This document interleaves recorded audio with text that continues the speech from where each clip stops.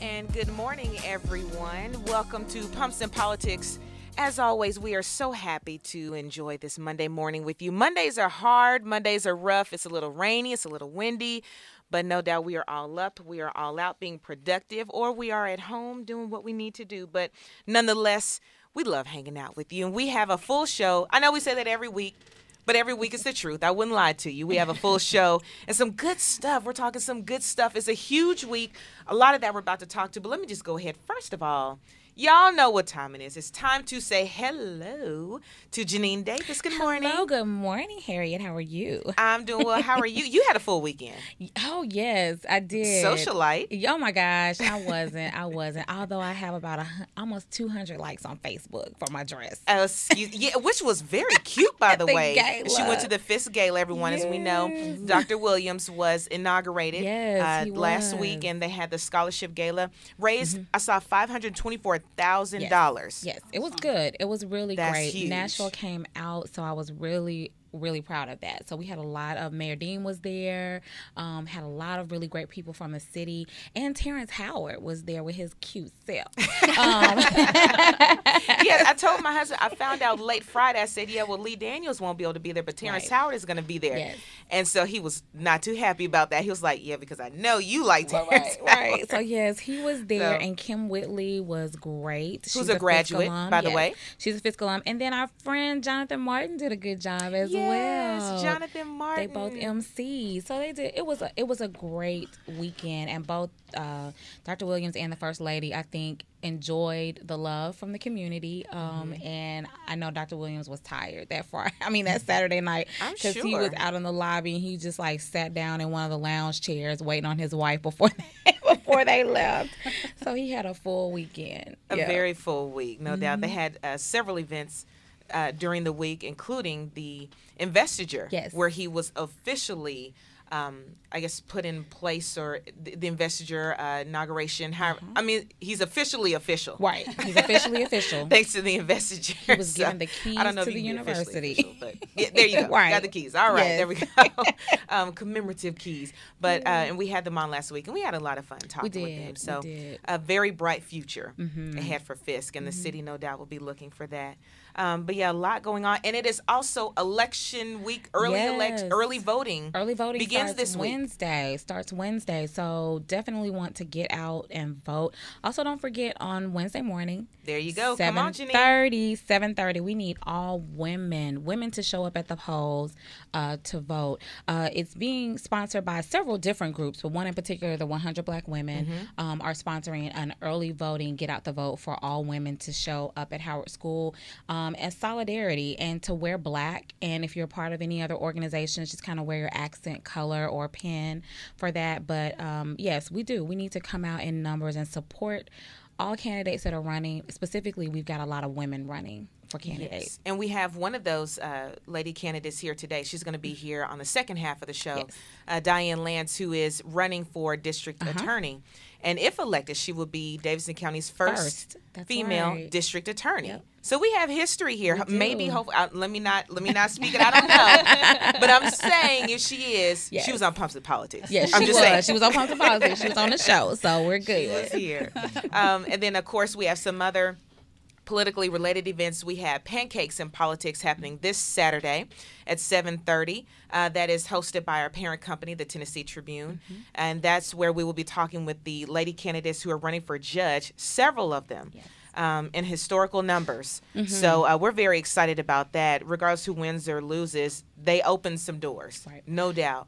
And I was gonna say too, if you need rides to the polls, um, please check out websites um, of various candidates are offering rides to the polls. So just check out who, whomever you are planning to support. Check their website out.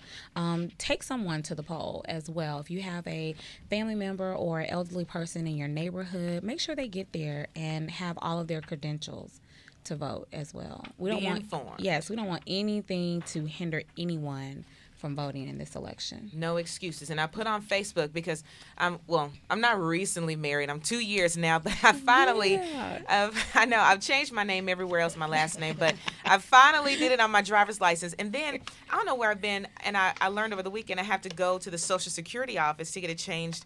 On my social security card as well. Mm-hmm. A lot of, I, I'm kind of changing my identity, but that's yeah, okay. That's how it I know. It's hard. It's hard for A lot of independent women. You know, Yeah.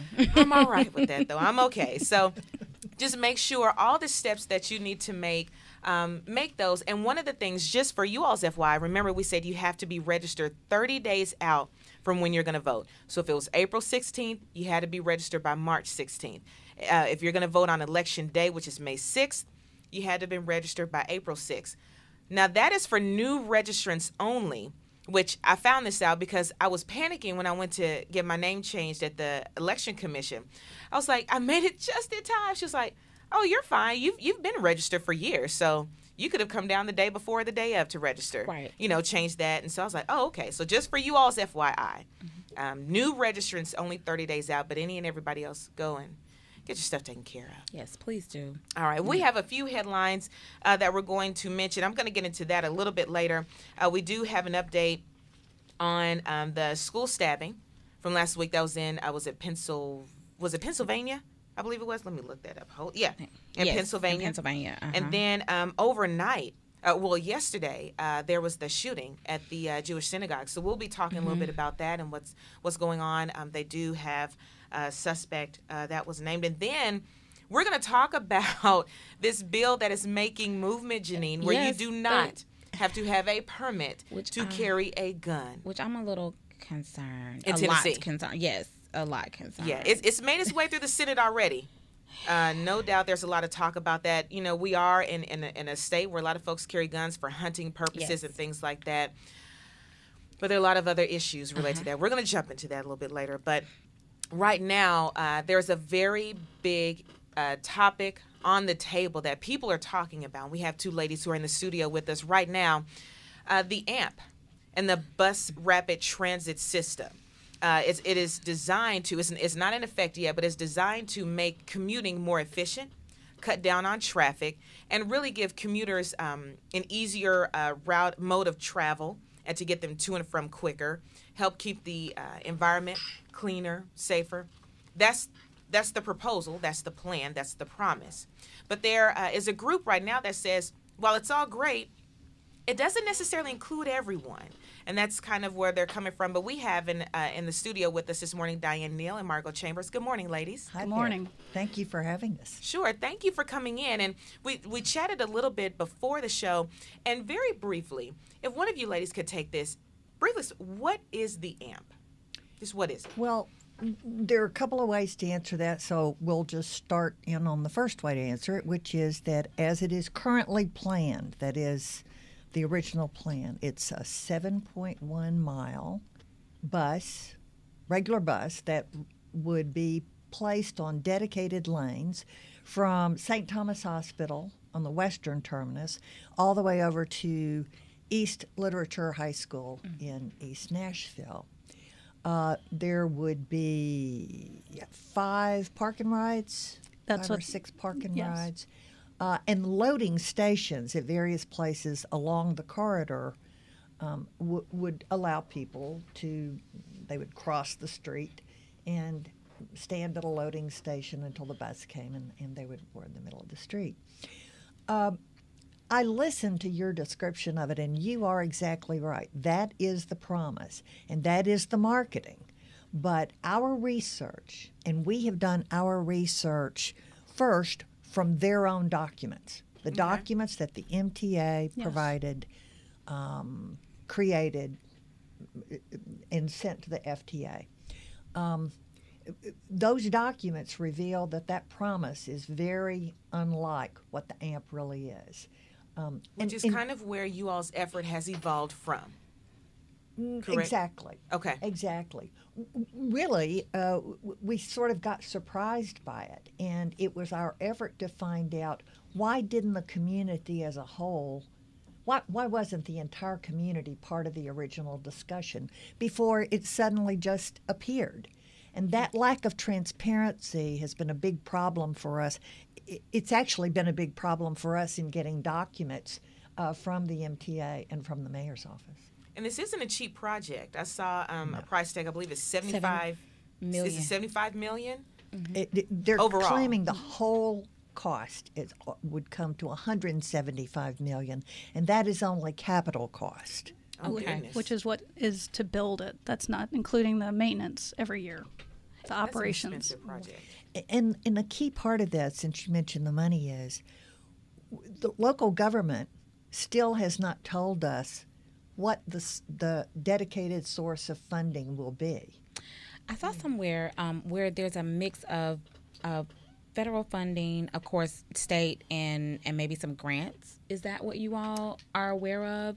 So is that still a concern that that money may not come, or you just want to know a little bit more specifically where it's coming from? Well, I think that's a great deal of money to run a single transit system that actually their documents show will capture very few riders. And it just goes east to west. Right. But the package that they've put together, since you ask, um, the way it's broken down is they were hoping to get $75 million from the federal government through a Small Starts grant program. Right. They say they are going to get $35 million from the state, and every single key person in the state has said, no, no, you're not. But their application at the federal level still reflects $35 million from the state. And some, but some has been released. Some federal monies have been released. Correct. Actually, no. Um, No, um, the mayor has made announcements saying that the AMP has received a federal um, announcement in the president's budget for $27 million. Um, but that is not a guarantee that we've actually passed any environmental regulations or we don't even have a capital grant application created at the federal level. So it's a bit premature to imply that any funds have been released for this. So it's saying you all can get this contingent upon this, which Well, the the the local government, the way the federal government expects these projects to work, these grants to work, is that the local government does a lot of the legwork ahead of time and is going to sponsor and pay for most of the cost. And then they do need local support, which is considered state support from a federal uh, viewpoint. And then once those two things are confirmed and can be verified, then the federal government will consider whether they want to release that $75 million. got it. But they also have to meet a number of other regulations, like environmental regulations mm-hmm. and there, traffic. Are f- there are 45 pages in the Federal Register detailing the specific requirements that a project must meet before federal money can be granted. Mm-hmm. And we are still sitting in the very first step, which is project development, without a completed application. Yeah, entry into project development. We haven't even exited project development. So we have a, a long ways to go. We do. Well, we're going to uh, go ahead and, and uh, get ready for our break here. In just a second, I know Janine uh, looks like you, I think, had a question or wanted to jump in there. And the ladies are giving us AMP 101 this morning. So, for any of you uh, listeners out there, if you had any questions, any confusion, or just wanted to know more about this AMP project, the Bus Rapid Transit System, we're talking about it this morning and we're answering a number of questions. And of course, we want to make sure that you are always informed from both sides of everything so you can formulate your own opinion. But this morning, we have ladies who are leading this effort um, to, uh, I guess, stop the amp kind of where it is and, and let's kind of reconfigure some things. And after the break, we're going to talk a little more. I, I know, again, Janine has uh, some points to throw in there also, but uh, Diane is on a board where hopefully uh, she will have some uh, some influence there. And we're going to talk a little bit about that right after the break. Stay tuned.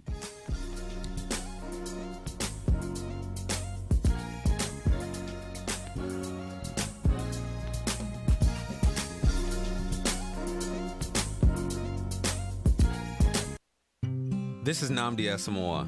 I play football for the Philadelphia Eagles, but what I do off the field with United Way might be more important. I'm a volunteer tutor and mentor. Why?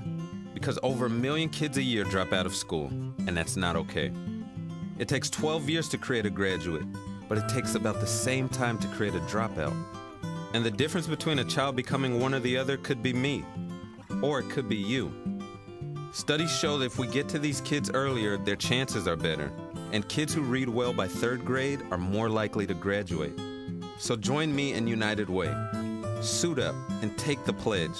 Become a volunteer reader, tutor, or mentor. Because when a child succeeds, we all succeed. Give, advocate, volunteer, live united. Take the pledge at unitedway.org. Brought to you by United Way, the Ad Council, and the National Football League. I'm so glad we left that stupid party. No joke. Hey, baby, are you an overdue library book? Because you got fine written all over you. Ugh, barf. what about that girl with the hoop earrings? Ridiculous. When she was dancing. Megan, look out! Look out! Uh, uh. Oh my god, Becky. Becky, are you okay? My arm. I think it's broken. Can you bend it? It's already bent in the wrong direction. I can't believe this. I'm so sorry. I only had a few drinks. I was just buzzed. Really? Just buzzed? Yeah, I swear. Well, in that case, my arm is fine. Ah, that's better. You're really okay? You're serious, Becky? No genius. I'm not serious. Ow! My arm, it hurts. Buzzed driving. Maybe we should stop acting like it's no big deal. Buzz driving is drunk driving. A public service announcement brought to you by the U.S. Department of Transportation, the Ad Council, and this station. For real news, big headlines, and the latest in political talk, tune in every Monday for Pumps and Politics at 8 a.m. Central.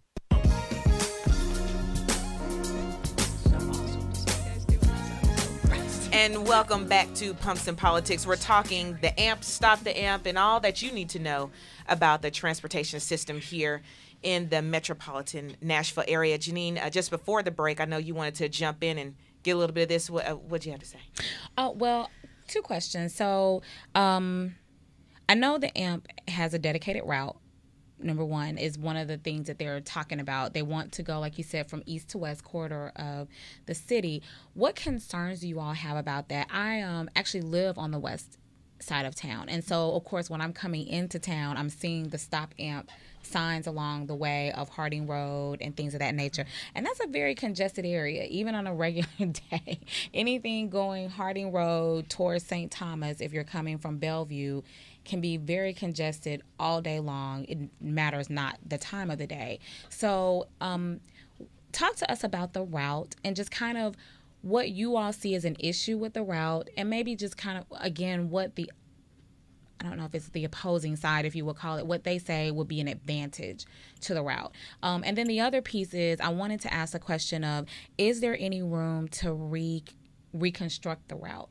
Um, I've attended a couple of political forums. Um, and also some other community forums and a concern that's been raised is is this actually a good route overall considering the how many people use public transportation don't live necessarily within those corridors um, that's a. Uh, let's see. I know it's a loaded question. i am sorry. I'll just jump in sure. because I think you're really getting to why was this route selected. Mm-hmm. Um, again, we have had a difficult time obtaining documents, but through Freedom of Information Act, we found that their own documents reveal that in fact the the presence of the AMP on this corridor will increase congestion at some already very defective intersections. Mm-hmm. I mean, y- if you come in, you know the ones I'm talking mm-hmm. about, starting mm-hmm. with that incredible mm-hmm. mix up of cars at Harding, Woodmont, and White Bridge. Yes, it's okay. horrible. Yeah. Uh, and then another one is the 31st and West End. Their mm-hmm. documents reveal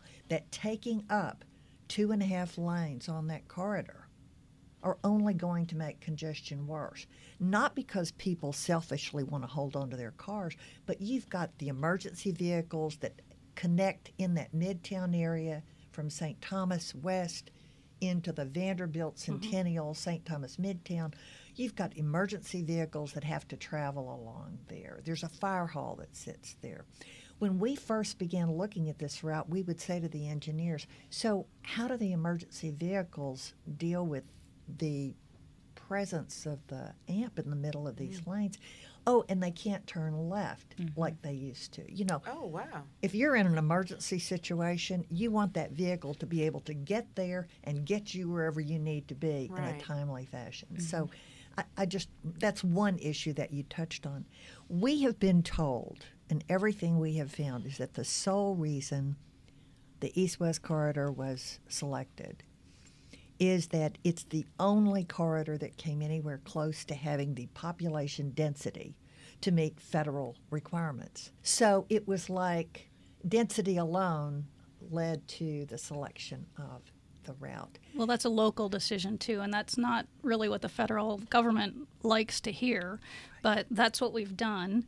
And um, I'd like to also add that the dedicated lanes are really only on the west side of town. It goes from St. Thomas down to Fifth and Broadway, and then once it turns north on Fifth Avenue, it it goes into a, a mixed use lane similar to what we know of today, and um, and then there is there are a few roadblocks at on Charlotte in front of the Music City um, Center, uh, the the Music City um, bus, Bus depot, depot, uh-huh. and um, and then again at in front of LP Field, they're going to have a, a transit station in the middle of the road there, which um, is is a traffic concern. There's going to be a lot of accidents there if you switch buses from regular traffic, and then all of a sudden they have dedicated lanes to pick up people and drop off people, and then go back to the regular traffic, um, and that the MTA did tell the FTA that this would dramatically increase auto traffic on the west side of town because of the high percentage of auto ownership. Um, having density alone is not a reason to get people to get on the bus or, or any transit, actually, but auto ownership is an indication to the federal government that you're not going to have a whole lot of riders. Uh, there's a lot of talk about choice and mode share, and these are all technical terms about how many people generally will ride the bus. Um, and it, it's a lot of it has to do with um, income and access to a working automobile and density. A lot of people, you, like New York City, if there's a lot of people and not so much room for cars, um, and or it's too expensive to own a car, it's too expensive to park it because there's no place to park it. Um, so that's a concern that that we had. Let that, me just jump in here because something that Margot just said. You you really are getting to the question of what what brought our attention to it. Um, the fact that it, it, I mean, when I first learned about it in the summer of 2012, I called uh, any council person I could locate and said, "Tell me about this bus project. I've heard nothing." And I consider myself a pretty well-informed person. I heard nothing in July of 2012. And here's the answer I got whatever you do, don't get involved. It's a done deal. And I don't know about you ladies, Yeah. but because We I've only too. known you a few minutes, Yes. but I'll bet if somebody tells you something that you just learned about as a done deal, you're going to start finding out Yes, some that's right. details. Start digging. Mm-hmm. Well, I call myself the research department. Yes, yes, Yes, that- the research Janine, yes. department. so, so that that mystery, it, it- whichever way I ended up coming out, from Yeah. my own opinion, that that had to be resolved. And this goes back to, I, I believe I was reading to about 2008, 2009, I believe, is when it kind of started. This, well, this effort. That's what the MTA likes to say in their media releases. We found the community. Come on, you're the mythbuster, Margot. What, all right, tell us the truth. What, what's going on? well, That's right. as Diane said, the community on the west side of town found found out about this project uh, July of 2012 at the same meeting. That's where we met, um, and we'd heard about it, but um, nobody really. We just thought we generally it wasn't well uh, appreciated. We listened politely, but said thank you, but this isn't going to work for us. We don't ride the bus over here. Why are you spending all this time and effort? Please put it someplace else, basically, because we're trying to get around it. Most of the questions were how, how are we going to get across the street because it's like a train going down the middle of the street. This isn't going to be uh, like it is today. It's it's going to be like two one-way streets where they put the dedicated lanes up, and um, and cross streets are going to have a a big auto impact there too. Um, but the MTA has said that they've been talking about this for years and that it's in their 2009 Master Strategic Plan, but that is not true. We've read that report and they wanted to extend the Gallatin bus route to Vanderbilt in the year 2025. And that was the closest thing they had in that plan to what the AMP is today. So um, there really isn't. And I mean, people have been, the MTA, who are a bunch of unelected officials at our city, have discussed um, improving transit for a long time, but specifically this route and how it's built and where it's built has only been going on for about a few years. I think the biggest concern, I'm sorry, but Yeah. Uh, but the here's the concern citywide, and this is what we found as our numbers of, of have joined us in questioning this, seeing if we could actually improve mass transit. Look at what's happening: 175 million dollars capital cost at least going into one corridor. When anybody who drives around Nashville knows that you have got corridors, Corridors all over. you know, it's the hub and spoke uh, uh, geographical arrangement of our county. And it's fine to say, as they do, this is only the beginning. Really? We don't even know where the local piece of the Correct. funding's coming from on this project. And they've already told us they're going to cut bus service on other routes, regular bus That's right. Service, in order to, To keep pay the for it. maintenance cost of the AMP And at to- a reasonable layers. level. And to Yep. also think about for this end, and like you said, uh, Diane, this corridor, 175 million to extend it to other areas because clearly, if you drive in Nashville to Gallatin Road, Murfreesboro Road, those are very congested Right. areas. Those have populations of individuals who don't drive Correct. a lot because they can't afford Right. cars. So that seems to be the area of need. Then that's another $175, I'm sure, going to those areas to build it again. So, yeah, that's a lot of money over time. That's billions of dollars for this project. And I'm all for mass transit. Right. Um, But but there's a I bigger picture. yeah, there's a bigger Right. picture and Yeah. and I guess again the question is when you when you ask the question of can you redesign the route? What was the response? We have Which time? well, And do we have enough time? She's like, it's, it's too um, much. here, here's here's the here's the way we look at this. We believe that with a lot less than 175 million dollars, that our city could improve transit in all sectors of the county, and we've put it out. I wish I had brought a copy, except you know you can't see it on radio, but we call it Plan B. I mean, how unimaginative is that? But it really is a system that would enhance express bus service. Uh, typical of what you're finding on Gallatin and um, Access rides, access that rides. kind of thing. Small to improve bus service. An improved bus service ought to be able to break through the culture, if you will, of encouraging people to ride Correct. the bus. If you can actually get on the bus in an improved shelter with the the time sensor that tells you your bus will be here in three minutes, um, and then get on a bus that can actually uh, change the signals to improve, you're likely to ride that bus. And Diane, let, let me uh, jump in here real quick because we have, I think, just maybe about a minute left. And I think it's important to mention that Mayor Dean, uh, I believe it was not long ago, was it just a few weeks ago?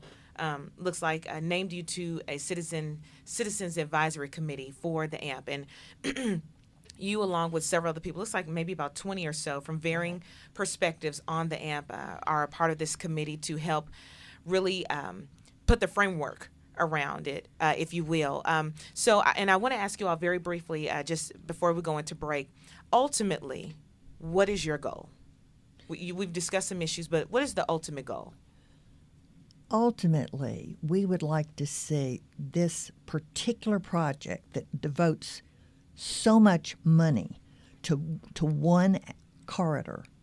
We would like to see that project brought back and really starting over with a project that considers how we improve mass transit around the county and most importantly regionally. If you've been on I 65, I 40, or I 24 early morning in the afternoon, you know we've got a regional problem that has to be dealt with. We do not believe that pouring this much money into a project that using their own numbers mm-hmm. suggest will fail for lack of ridership right. then our fear is that if we do the AMP, a disillusionment will set in with lack of ridership and the high subsidies it's going to cost to sustain it. And then you push back that political will and community interest in never having a discussion again. We over. give credit to Mayor Dean for starting the first serious discussion about mass transit in years. So overall, let's kind of let's let's kind of start from scratch a little bit and, and make it a little bit better. Diane Neal, Margot Chambers, thank you all so much for being with Thank us this morning and giving us uh, our AMP 101 or AMP for Dummies and helping us really was kind really of It's very nice. get Thank briefed you. on everything. Thank you all so much, and we wish you all the best in your efforts. And you know, again, as we tell everyone, the door is always open. We Mm-hmm. love, we would love to have you come back at any time, and just keep us posted on how everything is progressing. And so um, Margot has an announcement she wants to Oh, make. yes. I just wanted to remind everybody that there's a candidate forum tonight. Uh, it's from 6 to 8 p.m. at the Manna from Heaven Dinner Theater.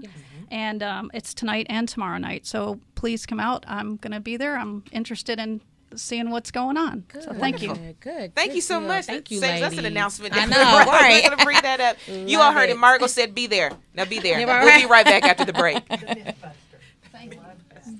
Yes.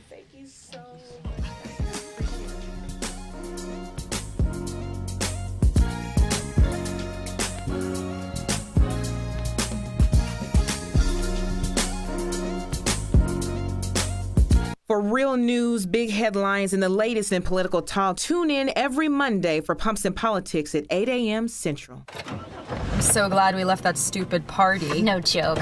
Hey, baby, are you an overdue library book? Because you got fine written all over you. Ugh, barf. what about that girl with the hoop earrings? Ridiculous. When she was dancing. Megan, look out! Look out! Uh, Oh my god, Becky. Becky, are you okay? My arm. I think it's broken. Can you bend it? It's already bent in the wrong direction. I can't believe this. I'm so sorry. I only had a few drinks. I was just buzzed. Really? Just buzzed? Yeah, I swear. Well, in that case, my arm is fine. Ah, that's better. You're really okay? You're serious, Becky? No genius. I'm not serious. Ow! My arm, it hurts. Buzzed driving. Maybe we should stop acting like it's no big deal. Buzzed driving is drunk driving. A public service announcement brought to you by the U.S. Department of Transportation, the Ad Council, and this station. This is Nnamdi Asomugha. I play football for the Philadelphia Eagles, but what I do off the field with United Way might be more important. I'm a volunteer tutor and mentor. Why? Because over a million kids a year drop out of school, and that's not okay. It takes 12 years to create a graduate, but it takes about the same time to create a dropout. And the difference between a child becoming one or the other could be me, or it could be you. Studies show that if we get to these kids earlier, their chances are better. And kids who read well by third grade are more likely to graduate. So join me in United Way. Suit up and take the pledge. Become a volunteer reader, tutor, or mentor. Because when a child succeeds, we all succeed. Give, advocate, volunteer, live united. Take the pledge at unitedway.org. Brought to you by United Way, the Ad Council, and the National Football League. Just now, another kid dropped out of school. There's one every 20 seconds. Over 200 kids an hour. That adds up to nearly 5,000 kids every school day. If we do nothing, 3.5 million kids won't receive a diploma over the next four years. But there is someone who can change that. And that someone is you. United Way knows that kids who have a caring adult in their life are more likely to make it. So make a pledge. Tutor a child who needs help. Mentor a kid who needs someone on their side. Volunteer to read to children. Because the path to success or failure starts long before graduation day. And the difference between a graduate and a dropout could be you. Take the pledge to volunteer now at unitedway.org. Brought to you by United Way and the Ad Council. all, all, all in together now. We can make it better now. Come on, can we do it? Yeah, you know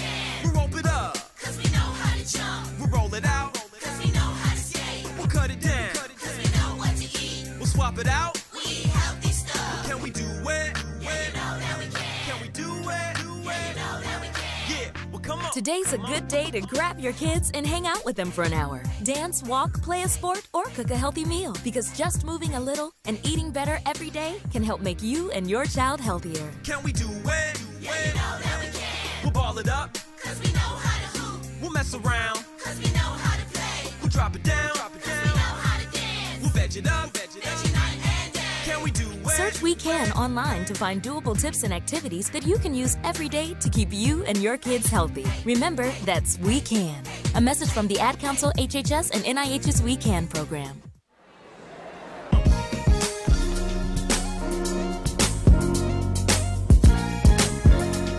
And welcome back to Pumps and Politics. Got a lot going on today, everybody. We've definitely hit on a really big issue, and some of y'all probably been hearing about it the Stop the AMP movement, uh, where the ladies are, are basically said, We don't want to stop it, we just want to revise it a little bit so it includes everyone and is more affordable and sustainable down the years um, moving forward. As we consider the growth here in the Nashville area, where we're booming now, and, and it's it's only going to it's only going to grow. Uh, we did not, Janine, get a chance to touch on a few headlines though, so I want to make sure we we get those in because that's what we do. Yes, Okay, we talk we talk politics headlines. and we talk Yeah. headlines. All right, um, and some really important things are happening again, as we mentioned in the top of the show. Early voting begins this week. Yes. April 16th. And just a reminder, Janine, what are we doing Wednesday morning? Wednesday morning, we're all showing up. All the ladies, the women of Nashville, come out to um, early voting along with the 100 Black Women and um, other organizations where you're black. If you're part of another organization, um, obviously wear accent colors, but come out at 7.30 a.m. Howard School Building and um, let's all vote together. Yes, indeed. And in other news, um, we got word this this whole flight was it MH seven uh, MH uh, the air the flight 370. Mm-hmm. I couldn't get that out. 370. Will will they ever find it? Will the search ever end? What is going on? It literally changes almost hour to hour. Seems like. The latest now, they're saying that there are no underwater pulses being detected anymore. They were sensing some things that they thought were from the black box. They heard it, then they didn't hear it. And then they're like, well, the waves and the depth of the ocean can, you know, cause some vibrations. They're not even sure. Well, they said now that they're going to stop with uh, some above water searching and they're going to send an underwater uh, deep sea uh, vessel. Right. So they're kind of working with the U.S. Navy and dragging, I guess, the ocean floor to figure out where the plane is, where yes, um, where where anything from the plane um, is found. So this is kind of like I think our modern day Titanic, Yes. if you will, which is Yeah. a little Yeah, weird. disappeared. Yes, We to just just maybe- disappear off the face of the earth, um, and it may be years before anything is found. And our, our unfortunately. hugs, prayers, love, and support for sure go out to the families of those that um, Mhm. have missing loved ones that are on that flight. And other crazy Yeah, news. about this gun situation. Yeah, yeah. Well, you know what? Well, before you know, this is the greatest setup. Let's talk about this shooting yesterday. Yes. At the shooting at the at the Jewish synagogue. Yes. Okay. Three people, uh, I believe, were killed. Um, yeah, three people killed yesterday at a Jewish community center and Jewish retirement complex near Kansas City. And they have in custody a well known and documented white supremacist and a former Ku Klux Klan leader who was behind this. And, and for those of you who all uh, who may not know, the Ku Klux Klan was born in Tennessee, Pulaski, just a Yes, couple of hours Pulaski, from Tennessee. here. Uh, so supposedly he just went on a shooting rampage. Three are killed. He is in custody. More will come from that. And now let's talk guns, Janine. Yes. So this situation here in Tennessee, I don't know. Tennessee is becoming very Florida-esque to me without Mm. the weather. and we know exactly what you're talking about. Yes. Loose guns. Yes, And uh, what what is going on? Yeah, listeners, please. This is why you need to show up and vote Yes. on Wednesday and in every other election, regardless if a president of the United States is being voted on or not. Why is that important? Because you elect congresspersons who are making decisions like they are now. It has passed the Senate that you do not have to have a gun permit and can openly carry your gun wherever you go. And if you want to stand your ground, Yes, you because easily Tennessee can. is a stand Let's just bring it all together. state, and so that means if you don't have to have a gun permit, that means you don't have to have training, right? So you could like Correct. literally be fumbling and fidgeting with your Correct. gun when somebody startled you and like shoot somebody in the toe or the heart. I mean, And that just- also, let's also talk about background checks. Exactly. Exactly, no background checks. So that means all the um, unstable people, you know, can definitely have access to this.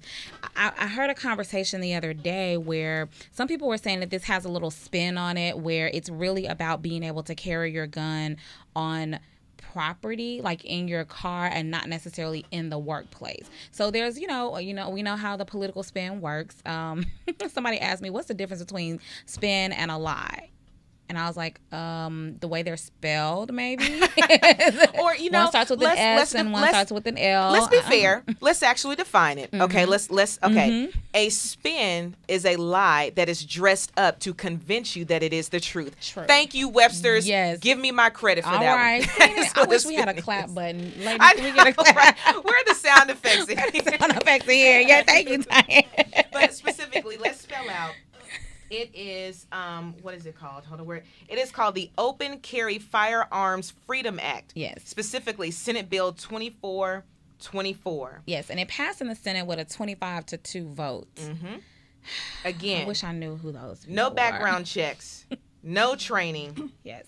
No permit. Now, my understanding is this does not apply to felons. Same rules ap- apply to felons. But you know, the crazy thing is, some But of for how long? Yeah, clearly right. For something's how long? And then, really, honestly, you know, because I'm an advocate for uh, people being able to vote, even if you are a felon. I know there are a lot of different programs out there about that. So. I, Sometimes when we're trying to protect ourselves from the bad people, we're the bad people. Yes, and don't realize it. Yes. Well, and let's don't give it, let's, gi- let's give a pause just for the mama side eye that you just gave. if that was that eye light that your mother would give you, now you know you Right, wrong. you- I'm not even gonna say. I'm just gonna give you the eye. So straighten up. Every Senate, House, Janine just gave you all the eye, the mama eye. We need you all to get it together, please. People are dying at ridiculous rates already, Mm-hmm. taking guns illegally on the streets. Let's not make it even easier for them. So Right. that's that's our little tidbit today. We could spend you. all day. I'm gonna say this to my producer here, Alicia. We we clearly need a show, maybe a special show discussing this uh, whole gun permit vote. But as we talk about crime and all that, we have a very special lady with us in the house, Diane Lance. Everybody, she could be your first female district attorney here in Davidson County. Welcome, Diane. Thank you so much. I'm really glad to be here. Thanks to both of you. We're happy to have you. How are you today? Doing great. Doing Good, great. A little distressed by the firearms bill, though, as well. Yeah, yeah. Are, are you able to share any thoughts about that, or, or do you Um, have what? What are your thoughts? My thoughts is the common sense that everyone else has. I mean, I really don't want to be passing someone in the grocery store with my children Yeah. with a gun on their belt um, who shouldn't be having a gun. Right. and something I don't understand the thought that it's all the safer as long as it's out in the open. We have enough trouble in um, Davidson County getting control over those who aren't allowed to have firearms and and Mm-hmm. keeping with the law on that, let alone having people walking around with them as they please. It's wild, wild west. Right, in the it's- south. Yes, exactly. and I'm just like, okay, we didn't have guns. They they passed, and I'm so proud of the restaurateurs locally, like Randy Rayburn, for instance, um, who really fought to not allow people to carry guns in restaurants. But it's okay that we just willy nilly carry them anywhere else. This doesn't the rationale. I just don't. Weird. I don't understand. Weird. So then, as a district attorney, um, and if elected, you'd be our first female district attorney. Would this be an issue that would come before you? And something that you would really have to deal with, it, um, if there are repercussions from this? Well, I mean, there, there are two layers to that. The first layer is the district attorney joins other district attorneys across the state in the district attorneys conference and makes recommendations and can present legislation. So the district attorney has a role on that of weighing in to legislation and also creating. Um, as a joint entity, ideas for legislation. So that's the first layer. As, as for the second layer, obviously, if there's any violent crime involving a firearm or any violent crime, that's going to land on the desk of your district attorney, which hopefully will be me. Right. Yes. So how has how has the race been so far? I mean, you're you're up against a man who really is kind of bankrolling his own um, campaign in a sense, uh, Glenn Funk, and then you're you're up against Rob McGuire, who is currently in uh, the district attorney's office, and then you've done no doubt you have a, a very extensive history um, in law as well, uh, and and on the public platform, having recently left uh, the mayor's office to kind of come out and and full time in your campaign. How is the race going? Because it's kind of like the race of the titans here. I mean, each of you all are pretty huge. How is that going for you? Well, it's it's interesting, and I said since day one that it's not a race; it's a sprint. Um, most of the candidates have been running since about October, but no one knew that this position was coming available until early February, I believe it was. So Right. it has been a, a sprint, and we're just I'm just sprinting hard and trying to get out there and meet as many people and let them know about the background and the very diverse and experienced background of 25 years that I'm going to bring to that job. So, and this is what this is what I love about our show, okay? Because we know we can go to your website and we can read all about you, and we've seen you out there. But I, you know, we want to go into those moments where we don't often get to hear about. So, I want to know when you found out that he was retiring, and what was your thought like? Was it, oh my gosh, what are we gonna do? Or now, you know, I'm thankful for his service, but maybe now is a chance for me to get in and make change. Like, what was your initial first? No, no, no. Let me go back. How did you find out? Was it a text like, "Hey, Diane, did you hear this"? Was it an email? Good question. It was a text. we want the dirt. And absolutely, because that's how we get all of our juicy new information these days is by text. So I did get a text. And I had both of those reactions. I was really shocked and surprised. I had just been with Torry earlier that day. We've been talking about things that were important to me with domestic violence. And then I come to find out that he's leaving that position. And it was it was a bit of a shock wave because a lot of the plans I'd been making in the mayor's office for how the city can improve our response to domestic violence were assuming certain players were still in place that were in agreement and ready to move forward on my plan. And so that was really concerning to me. And other people who were equally concerned about what would happen if there was a new district attorney who hadn't maybe embraced our guidebook for how we need to make change wouldn't wouldn't embrace it that way. So i started getting a lot of phone calls from the nonprofit community the legal community encouraging me to run for district attorney One important thing to, to mention is that you have a strong history in advocating for uh, victims, doing a lot of development in the area of domestic violence. But as dis- as district attorney, you would handle a lot more than just uh, domestic violence. So briefly share with us, because we have just a little bit before the break, but briefly share with us what all will you bring to the table, and can you handle the varied um, issues and cases that would come to the office of the district attorney outside of domestic violence. Right. The the office handles a wide range of, of issues and they also get into the area of prevention. And one of the, probably the biggest thing that makes me different from the other candidates and what I bring to the table is that I have the unique experience of actually solving problems in our law enforcement and judicial systems. My work in the mayor's office was to tackle tough problems that those two systems face, um, whether it be problems that make it hard to for the case to travel through the system or make it especially complicated for victims or something unfair for the defendants. And so my work in the mayor's office, I've worked with the leadership of all those departments, such as the sheriff, the police chief, um, the district attorney, the head of probation, all of them, and judges, working to make our system better and more user friendly for those that are using it and take out some of the gaps in victim safety and take out some of the gaps in offender accountability. So while others may have traveled and continue to work in that system, I'm the candidate that got out and figured out what needed to be fixed with the help of a 100 member team that helped me do that and actually know how to do that because I've worked in that capacity for the last five years. Well, you all heard it y'all right know there. She, She can just handle laid it. it no I don't- questions after that. and with both of the guys in here, they didn't even say it that well. No, they sure did. I mean, not that we're like showing any favoritism or anything to you know but the lady here like on the Pumps and. Politics, but I mean, we're just saying she just you know stated it clearly. But we're going to talk with her just a little more about what she's going to bring to the table if elected, what sets her apart, and of course we have to ask her the few questions you need. You know, we got to get the Yes. first thought Hey. We'll we didn't tell her about that, but we'll Right. surprise her with that in a little bit. Everyone, stay tuned. We will be right back.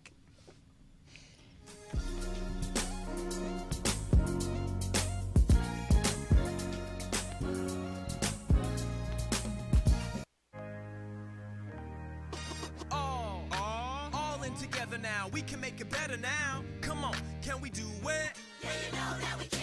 We rope it up, cause we know how to jump. We roll it out, cause we know how to skate. We'll cut it down, cause we know what to eat. We'll swap it out,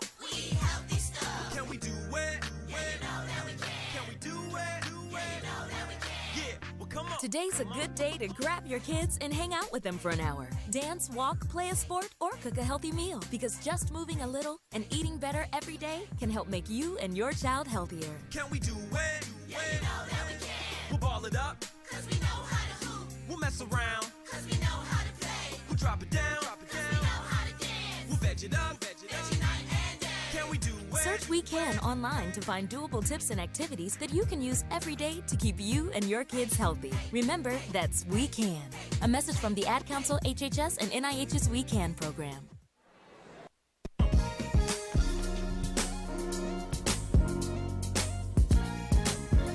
Welcome back to Pumps and Politics. We are having a lot of fun this morning.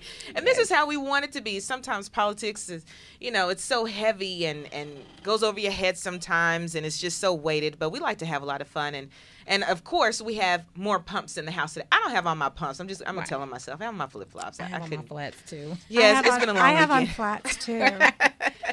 but you know, it's a metaphor. It is. It is. Yes. Represents the ladies. And we have a wonderful lady with us in studio today, Diane Lance, candidate for district attorney here. And again, we have to keep saying, if elected, will be the first woman district attorney. Um, filing in now after Torry Johnson, Torry Johnson announced his uh, retirement after many, many years of service. And um, made a lot of headway, broke a lot of ground. Of course, a little controversy, then everything's clear. You know, it's no different than any other elected officials' uh, history, you know. So there's a lot going on. Diane, um, we're talking with you, and we gave her a little, you know, we got to give her a little heads up about her surprise. All of our listeners, you know what it is. We got to play the word game. Yes. Uh, but before we get to that, we got to, you know, bring her on in a little more. We got to massage her in a little more, Janine. Get, get a little more relaxed for it. So, um, tell us about your endorsements. I noticed that you recently got an endorsement from Win. Who else has um, backed you and endorsed you? Yeah, so WIN is Women in Numbers, um, and also was endorsed by Women for Tennessee's Future, and have been endorsed by. I was gonna say, Women for Tennessee's Future has a really interesting acronym. If you can think about it, it's WTF. and I went to one of their events, and I was like, they gave me a little sticker that said WTF, and I was like, I don't really know if I how I feel about putting this on, and what that also translates in other circles. Well, you're you're exactly right, but it, they did that, from what I understand, intentionally Mhm. because a group of um, strong women sat Mhm. down and they were like, "What's going on What here? the fool? Yeah, I wh- know. Why aren't there more women in leadership positions?" Uh-huh. So that's another endorsement. I have been endorsed by Andrea Conte. And Great. Governor Bredesen, and um, which Big obviously I'm very proud of both those endorsements. And for those of you that know Andrea Conte, she's obviously married to Governor Bredesen, but she is truly the first lady of Mhm. not only Yeah. Um, Tennessee, but she has been the first lady of victims' rights in our state. Mm. Um, so I'm very proud of that since I've devoted so much of my career towards victim advocacy and services. And then most recently, I've been endorsed by Reverend Tex Thomas, which Oh, I'm, Oh, I'm Reverend really Tex. proud of Yes, too. Reverend Tex. That is That's pretty great. big. Some would call him the mayor of North Nashville. Yes, the mayor of North Nashville. I mean, that is awesome. And tell us, um, those are some great endorsements. Tell us a little bit about what you did. Um, I was reading some information on your website, um, and which I think is great. What you did with domestic violence and kind of creating a center, if you will, for um, those victims to feel safe when they go to court. Talk to us a little bit about that project. I love to. I'm really excited about that project. So I'm glad you asked that question. So in we did a domestic violence study for 2 years involving over 100 people and one of mm-hmm. the biggest and strongest concerns is what happens to victims when they show up for court, particularly on a domestic violence docket. And what we observed and from watching court and from interviewing victims is how frightening that process is. They're in the same courtroom for hours on end, sitting with their offenders, near their offenders, um, and that's an intimidating process. When they go up to talk to the judge about an order of protection, they literally are standing shoulder to shoulder within inches from each other. And you can, when you're sitting in courtroom and you watch this, you can see some of the women visibly shaking Mhm. while they're standing there and suddenly unable to communicate. There are issues of you, we've saw plenty of examples of offenders intimidating the victims in court, whether it be from looks they were giving, texts they were sending in court. all of that. We found out a lot of victims don't eat breakfast before they come to court, and then they're sitting there for hours on end. It is a ugly and awful process. So it's not surprising that near the majority of cases are dismissed because victims do not come to court. Who would want to go to court um, and be treated that way? So what we've done is bu- building out, starting at the end of the summer, it will be created a victim resource center where victims will go there um, to a separate area of the courthouse that's going to feel like your living room or your kitchen, almost a sanctuary within the courthouse to wait for their court time and to wait till they need to go upstairs. And it's just going to be wonderful. We'll have breakfast, we'll have 10 to 12 advocates added to our system to provide the services they need, the referrals, the educational information about, you know, what's the effect on children. Um, how, Uh, are you at risk for being killed from your offender? Do some lethality risk assessment so they know where they stand. All of that type of services will be provided there, mm-hmm. and hoping to make it an experience that is helpful, mm-hmm. not just frightening. Wow. Good. That's great. What kind of response have you received from um, from this effort? The community's really excited about it. Mm-hmm. Um, when I go out and I talk about it, I can you, you can tell when you talk to a woman if they have had experience with domestic violence, whether personally or with a family member. When I say what I've devoted my life to is Mm-hmm. the victimization, especially of women, and when you talk when I talk to them about this victim resource center, it is an exciting prospect because anyone that's been to court and seen what it's like um, for the last 20 plus years should have known it needed to be changed. And the fact that it took this long to change is really shocking to me. And one more uh, quick question before we get into our get into the word game. Uh, we have just a few minutes, literally a few minutes left in the show. One thing we always we always ask and we want to know, especially as you have those that you are running against, what is it about you that we don't know already, or that we can't go on your website and read, or that we wouldn't hear in your political speeches, you know, or when or, or in your responses, you know, because you you're thinking of things that you know this is why I'm the best candidate, and those are the things about you that we know. What are things about you that we don't know? What do you do at home? What do you like to do? What is family like? You have a beautiful family. We see it on your. I website. do, I do. So I'm, What ticks you off? What what makes Diane mad? What makes her happy? Cupcakes. You know, I mean, what you know, what what excites you? You know, well, that's a lot of question. What excites me? What makes me mad? I mean, there's a there's a long host of things. So I'll tell you a little bit about me personally. I'm married. Been married for a really long time. I've got two kids, 12 and 14. I have two cats um, that can drive you crazy because they're they just can't get enough love. And I have a dog who's petrified today because of the storm. So he has to Oh, wear yeah. he has to wear a jacket around him today that hugs him all day so he can feel safe and secure. What's his name? his name is George. He's a Oh, he's a George. huge a huge your poodle I got from the pound, and um, he's very frightened today. So um, that's kind of my personal. gonna cry. I, like, I know, George. It's just George. it's just pitiful. but um, but you know what what um, what makes me mad? Gosh, um, I have to think about that. I'm, I'm generally very even keeled. I'm a pretty reasonable person. Um, oh gosh, my friend is sitting here beside me, writing to me. What She's what like, I know what makes you mad. Well, Let me I- help you out. you know, she's right. So I've gotten ticked off in a forum or two. Um, and what really makes me mad is when when the underdog isn't being treated right.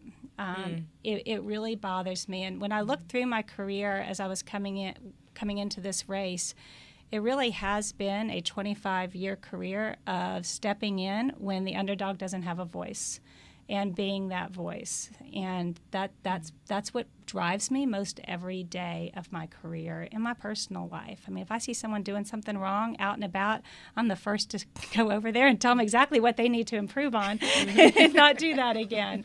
Um, i don't like getting speeding tickets but i don't get mad. I hit someone's mailbox by accident the other day. So you know um, that, that was that was bad and so i felt bad about myself. So apparently my driving skills can improve a little bit. Um, so that's that's the skinny on me um, need to improve my driving skills and um, love to serve people who need someone to step in there and serve them Got it. Well, I appreciate the transparency on the driving skills. I, I'm I'm there. Okay, well we have okay. We're, we're getting the rapid. Okay. Oh, ooh, we're over. yeah, I know, Well, we're- can, can I throw can I throw one in? We, can, can Okay. we- scandal. Yeah, come on, ladies. What do you say about that? The only word on my mind is win. So any word association is going to be win this election. With no scandal attached. All right, with no scandal attached. No attached. scandal Right, I attached. like it. All right, I we'll like let it. you. Ooh, you got away so Yes, lucky today. She was clever. She Yes. was clever. We Yeah. will have you back for sure, Diane. We had so much fun. And please give me your name again. Mine, I'm Tammy Walker. Tammy. Okay. Everybody, her friend Tammy said, We love Tammy. Tammy, you've got to come back. Please come back. We got to put you on the mic. She's a lot funnier than I am. you all are funny and funny together. I love Yes. it. It was such a pleasure to have you all uh, out with us this morning. Again, don't forget to vote. Beginning this Wednesday with early voting, election day is uh, May 6th. Mm-hmm. Diane Lance is on the ballot. So if you liked what you heard today, if you feel more informed, we hope that you do. If you feel inclined to vote for her, be sure to look for her name on the ballot. We will be running a marathon on Tuesday, the day before early mm-hmm. voting. So if you want to meet all the other candidates, be sure to tune in. Everyone, thank you so much for listening. And tune in for the bench press. The two hour power I had to put that plug in before I got in, tr- in trouble. Okay, I'm getting in trouble now. Okay, everyone, have a great week. Talk to you next week. For real news, big headlines, and the latest in political talk, tune in every Monday for Pumps and Politics at 8 a.m. Central.